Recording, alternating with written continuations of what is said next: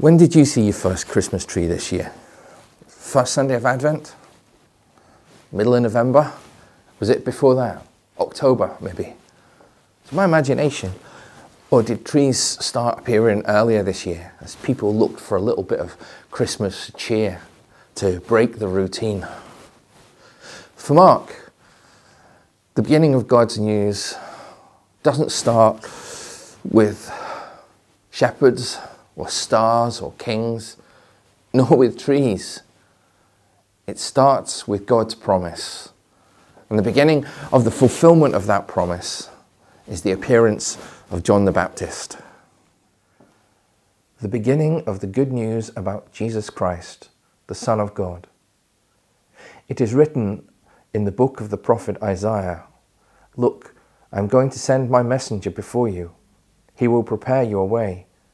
A voice cries in the wilderness, Prepare a way for the Lord, make his paths straight.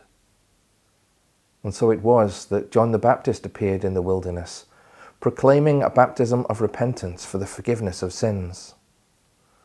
All Judea and all the people of Jerusalem made their way to him. And as they were baptized by him in the river Jordan, they confessed their sins. John wore a garment of camel skin and he lived on locusts and wild honey. In the course of his preaching, he said, Someone is following me, someone who is more powerful than I am, and I am not fit to kneel down and undo the strap of his sandals. I have baptized you with water, but he will baptize you with the Holy Spirit. As once he did on the banks of the Jordan, the Baptist calls to us to prepare a way for the Lord. And that preparation has nothing to do with trees. I know Christmas trees and tinsel and turkey, uh, uh, they've all become a part of how we celebrate Christmas. And, and they're all good things, getting together with friends and family. They're good things to do. But they can become distractions too from the message at the heart of Christmas if we let them.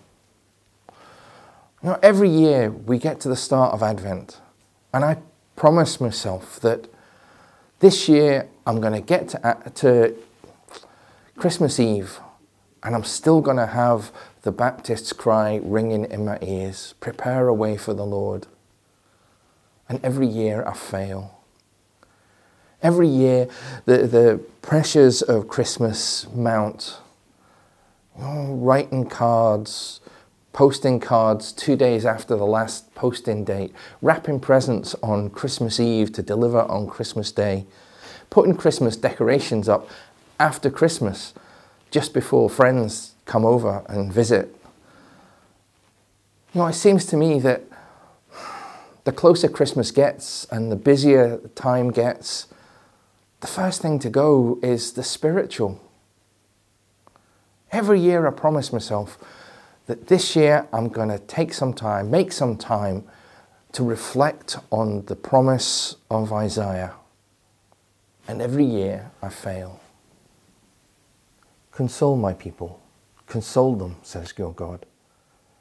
Speak to the heart of Jerusalem and call to her that her time of service is ended, that her sin is atoned for, that she has received from the hand of the Lord double punishment for all her crimes. A voice cries, Prepare in the wilderness a way for the Lord. Make a straight highway for our God across the desert. Let every valley be filled in, every mountain and hill laid low. Let every cliff become a plain, and the ridges a valley. Then the glory of the Lord shall be revealed, and all mankind shall see it, for the mouth of the Lord has spoken. Go up on a high mountain, joyful messenger of Zion. Shout with a loud voice, joyful messenger of Jerusalem. Shout without fear.